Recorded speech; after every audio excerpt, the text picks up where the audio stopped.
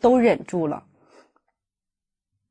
但是，对于一个修学佛法的真正的修行人，忍辱功夫是什么呢？是能够啊，不断的精进，忍耐住修学过。八字解读人生，风水改变命运。大家好，居士从业风水二十六年，很多人通过我的调节都获得了巨大成功。针对八字测算、风水布局、命理分析、事业财运、手相面相、感情婚姻，有独到专研见解。如果你的财运不佳、情感不顺、诸事烦心，原主可添加本居士微信二六六八二一三五，一一帮你调节化解。记住微信二六六八二一三五。是考验，看你怎么办。当面。若不实，还得从头过。啊，就是这个考卷会反复出。那我第二次出去之后啊，满心欢喜，又可以为大众宣讲女德了。哎呦，上千人，我要在家把 PPT 呀精心准备了一周。啊，然后呢，哎呀，在家又练讲了好几次。哎，这这把这个。觉得哪些东西最适合大众讲的，能够引起大家对女子德行教育的这种关注啊，我就都提起来了。结果我下了飞机，到晚上，那主办方跟我说了一句话，还不是主办方啊，别的人说陈老师不好意思，啊，这次大会时间安排不过来，您不能讲了。如果照以前，我肯定会很烦恼，我会讲理呀。那你不能讲，为什么不早点告诉我？那没有这么做人的吗？你看大老远那么热跑来，我家里又是孩子又是老人的。啊，那天呢，我就很欢喜。我说：“哎呀，我说这不是考卷吗？”我说：“这个您放心，这个我一定哈。”一点儿没有任何的怨恨心，台下呀听好，比台上讲明白更厉害。我我多好的机会，我在台下听啊，所以我就欢欢喜喜的，我就坐在底下听课。然后啊，我记得我们当时啊，有个同去的老师，他就很奇怪，他说：“哎呀，他说你那么认真的，我从来没见你这么认真听过。”他说：“为啥呀？”我说：“我觉得。”这个佛菩萨安排呀，我这次来就是要坐在底下认真听。那我一定得把这个功课做好，我认真听，看看上面的老师给我哪些启示。包括这次来香港，我没有任何给大家汇报的这种准备啊，我就是来修学的，来充电的，所以我特别像海绵一样，特别。认真的听这个何老师的课，我今天还想我说，哎呀，本来今天讲见他色美起心思之，我很想听啊，哎呀，我我讲又又听不上了，回去还要把这个课补上。所以呢，你这个关呢就悄然通过了。那你这个比讲课效果是大还是小了呢？更大。因为回头啊，主办方有个老师就说：“说陈老师，您这两个月休学有进步，虽然没讲，但是我们看出来了。”我当时心里还有一点欢喜，后来马上想啊，常若畏惧啊，不可以有欢喜心啊，啊，战战兢兢啊，如履薄冰。我我当时就跟这个主办方的老师我说，我说真的是很差。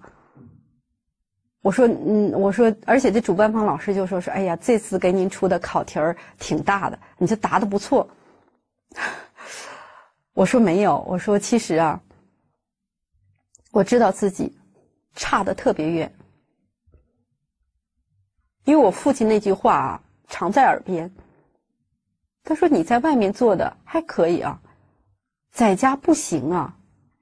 那家是什么？家是根呢。我那个根都不稳，你在外面再漂亮，就像花瓶里的那个花似的，没用。所以，我特别感恩我父亲，我就给我爸呀。那次讲讲课的过程中，我就给他发了个短信，我说：“爸爸，我特别感恩你，我不知道父亲节应该怎么报答你，我给你磕头好吗？”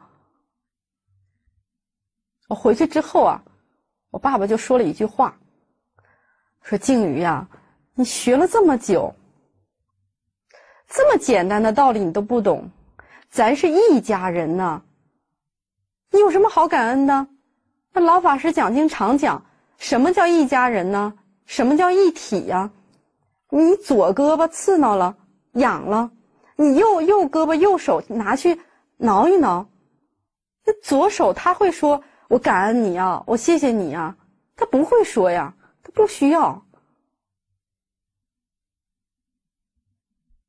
那牙齿咬到舌头了，而舌头他会打架吗？会生气吗？他不会呀。我当时，我当时真的哭了，我特别惭愧。我觉得我以前一直比较轻视啊父母。我觉得我的学识又很高啊，事业又很大，你们没有什么可教我的。我这两个月哈，特别深刻的体会到，为什么他们能成为我的父母，不仅是啊。有恩于我这个生命，我无法报答生育之恩。最重要的就是他们那个教育之恩，真的是时时刻刻在教育你。我爸爸就说呀：“说师傅老人家，你看我偶尔听一下，他总是说你要做到，你要做到。”那静瑜，你不能一天到晚就在上面听经，怎么做到呢？你得去啊，跟父母的心一致，跟丈夫的心一致，跟孩子的心一致，你都能达到一心，你就通了。我这话品味了很久啊。因为同样的话，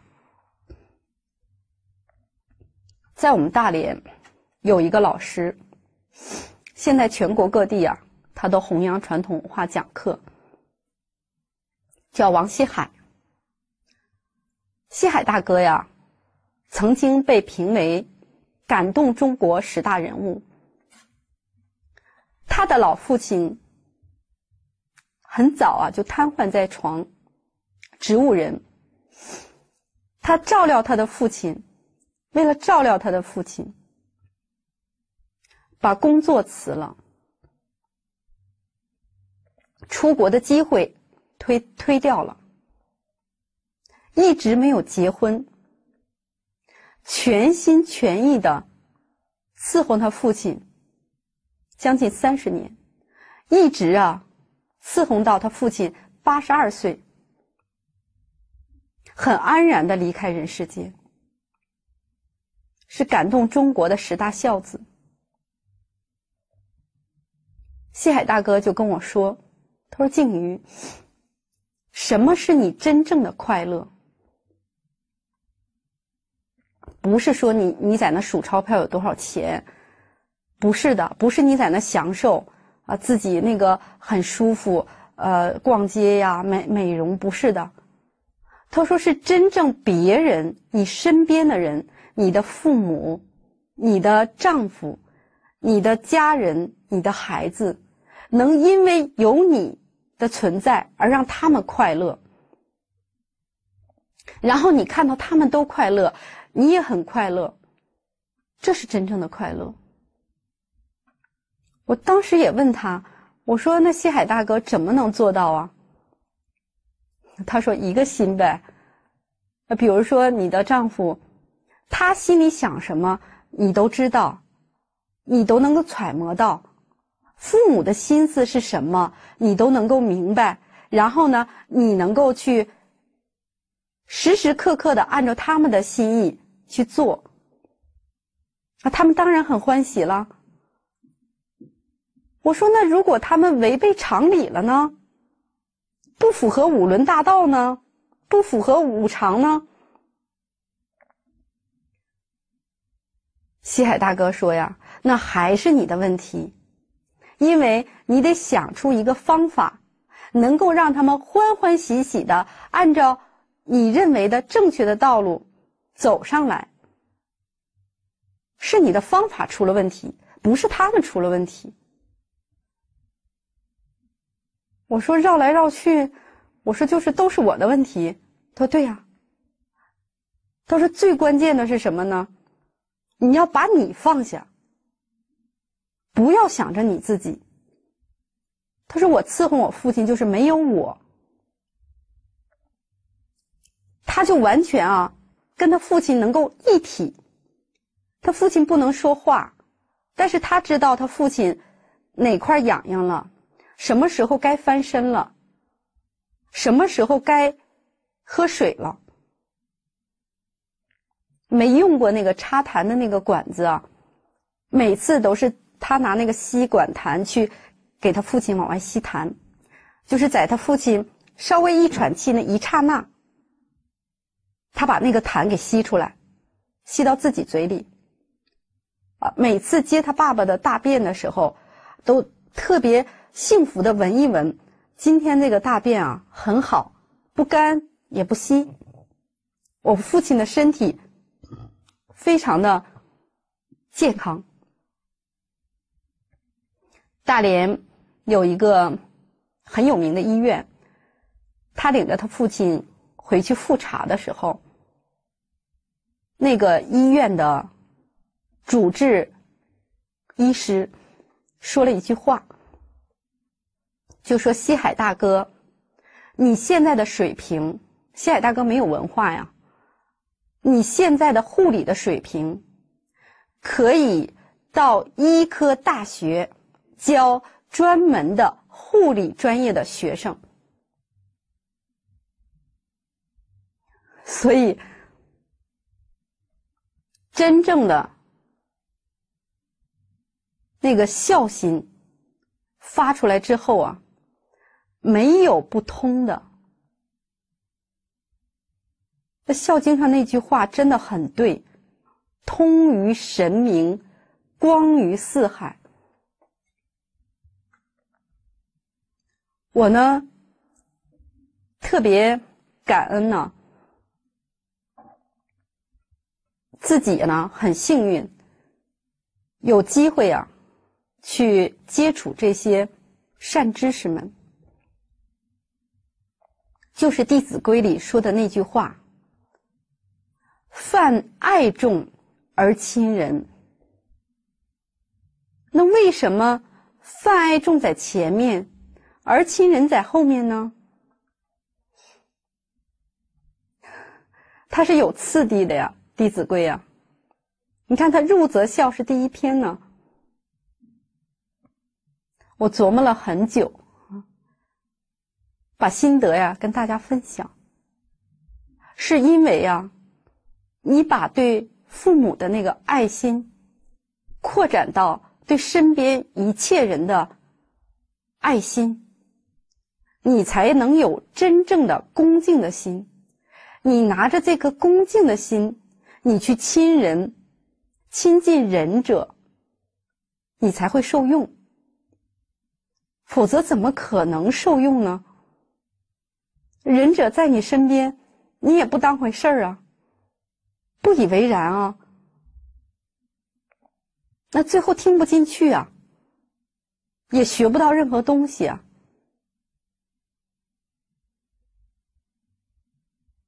我跟大家分享自己啊，烦恼习气很重，真的，我总是非常羡慕啊这些大德老师，像钟老师啊，我很羡慕，我自己很想改。所以，会想很多方法，啊，坚定的去落实。我家里啊，没有报纸，从来不看电视，好多年了。啊，如果放片子呢，只放这个传统文化的片子。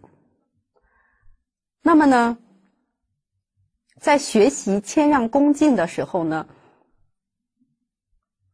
我就在想，怎么能够让自己不仅是理上明白，事儿上能做到，从心上也能真正的。透彻的去通。我一开始啊拜佛，我跟大家上次分享过。那这两个月修学的过程中呢，我第一次生平第一次啊下决心呢，领着我儿子啊出去做义工。没做过，我们传统文化那个。讲座的老师说是义工啊，其实出去之后很受人的推崇。哎呀，那个我是功高我慢的心是越来越重，所以呢，我就领着我的儿子啊，礼拜天到这个大连有一个寺院啊，去干什么呢？刷厕所。大家想想啊，我以前是家里的厕所都没刷过。我下了很大的决心，说实话啊，然后我就开着车跟我父母也说，我父母倒很欢喜。我父母说好啊，我爸爸还特意买了一个很长的夹垃圾的夹子。我爸爸说，你你呢领着这个呃老大在里面刷厕所，我跟你妈呢领着老二啊在寺院门外捡垃圾啊，到点我们一起去吃饭，吃完饭回家干一上午啊，很好。结果第一次进去刷厕所的时候呢。哎，我真的当时感慨万千。说实话，因为套上这个手套啊，拿上这个刷子的时候，一看那个那个味道非常大啊！我以为是只有一个厕所，去了之后呢，才知道那个寺院很大，是两个公共的厕所。那女的呢，算下来就是八个厕位。啊，我儿子呢？那除了八个厕位，还有小便池啊。然后我先教了他一遍啊，怎么刷哈。我俩就进去之后分头行动。结果我刚刷了一下，就有人进来，就说：“你这个别弄得哪都是水哈，到到那边去，我要上厕所。” 我当时我就想，我这是我这是干什么来了哈？你说我这。这家里可以悠哉悠哉过得挺好的，我这是，哎，我我想已经来了不吱声吧，我就给他让出来。过了一会儿又进来个人，那个那么瞅着我，你是这干活的？我说我这不是啊，不是啊。后来我我我就在那想，我就在那想要不要继续下去啊，一直在想。后来想，哎呀，这个还是坚定的。为了改过，刷吧，反正就是从这开始练吧。人愿意说啥说啥。一个侧位呀，一个侧位的刷。我后来静下心来呀，拿着那个刷子开始刷那个侧位的时候啊，就感觉啊，真的像刷自己啊沉积已久的心灵上的那种脏垢，很难刷。我其实刷到后来，我心里就觉得，哎呀，人这个烦恼习气真的是很难。如果没有这种坚定的决心，像《了凡四训》上说的那种勇猛心，还有那种畏惧心、羞耻心，很难回头改过。我就是反复学。为啥有畏惧心呢？因为我觉得，我学佛这么多年，知道因果，我造的那个业啊，肯定啊是罪恶的那个道等着我，真的害怕。有的时候，我每次一读《地藏经》，很害怕，不想去啊。现在知道，因为我我上大学的时候很喜欢学哲学，我一直在想，人为什么会来到这个世间？人的肉体是不是真实存在的？到底有没有灵魂？什么是我？这是哲学里经常提的一些问题，就是本体啊，物质世界和精神世界的关系。我那个大量的读哲学类的书，啊，尼采的、苏格拉底的、古希腊的哲学我都读遍了，选修了好多门，不得其果。我喜欢佛学啊，喜欢的的确一开始我是当做佛学来研究的，因为我觉得他这个比哲学讲的要透，他抱着一种消遣的心理，觉得嗯是这样。后来讲着讲着，我就很害怕了，因为人真的不会死，不会一了百了。万般带不去啊，唯有业随身。那个善没有，善业没有啊，恶业一大堆啊。我就害怕，怎么改？坚持。后来我把中间啊，我儿子累的就不行了，说妈妈。咱们可不可以也去捡垃圾？都是做义工吗？我说儿子不可以。我儿子问为什么？我说因为呀，妈妈很傲慢，你呢一定要陪妈妈，用这个方法去对峙我的傲慢。我连续啊去过三次，等第二次去的时候呢，就好多了。后来西海大哥还跟我说：“啊，刷厕所要坚持，很好。”所以，这个勇猛心一定要坚定的下。他能下的原因呢，就是你的那个羞耻心和畏惧心，去成就你的勇猛心。我这次来啊，拿了一本《诸经》。佛说地狱集要，我昨天站在那儿啊，我还看了几条。我决定回去啊，有时间就多看看。知道有因果，但是啊，不深信，因为想象不到你种的这个恶因会得什么果，看不见果吧，你就容易。很轻视他，慢待他，无所谓。